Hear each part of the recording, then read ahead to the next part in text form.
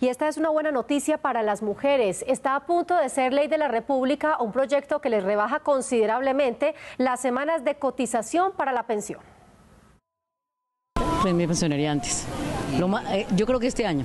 Así como María Inocencia, serían miles las mujeres que se beneficiarían con la aprobación del proyecto de ley del presidente Mauricio Liscano, con el que se disminuyen las semanas necesarias de cotización para su pensión.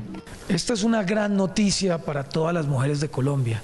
Mi proyecto de ley que reduce de 1.300 semanas a 1.150 semanas para que las mujeres de Colombia se puedan pensionar y tengan equidad con los hombres, ha sido aprobado por las mayorías de la Comisión Séptima en tercer debate.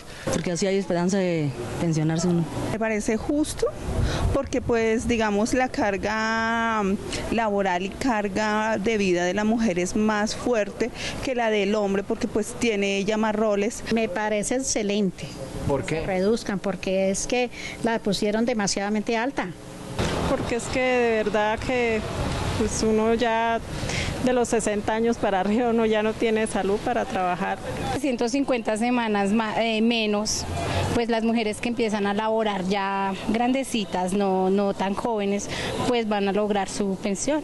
Con el tiempo que me queda, pues dedicárselo a mis hijos, al hogar. Este proyecto al que solo le resta un debate en el Congreso pretende que haya más equidad entre mujeres y hombres. Esto es un gran triunfo para las mujeres colombianas que por mucho tiempo han sufrido esa brecha que existe y esa diferenciación que existe entre hombres y mujeres. Hoy existe una gran inequidad.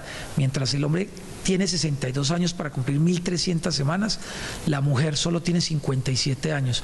Esto lleva a que las mujeres en Colombia hoy se pensionen tres veces menos que los hombres. Se tiene previsto que en los próximos días este proyecto se discuta y vote en plenaria del Senado, donde hay un ambiente favorable para su aprobación. De inmediato pasaría a sanción presidencial, donde se confirmará como ley de la República.